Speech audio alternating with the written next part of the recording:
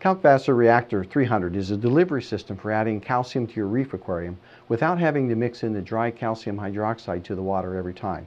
You only need to add the calcium once, and every time the water flows through the reactor, the built-in sprinkler head will mix the solution.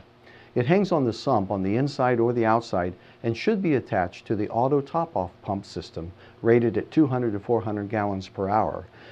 So every time the pump turns on, the reservoir water will flow through the reactor and mix the concentrated Kalkwasser before entering the aquarium. It's designed to handle aquariums up to 300 gallons. For additional information on the products used in this video, please visit petsolutions.com.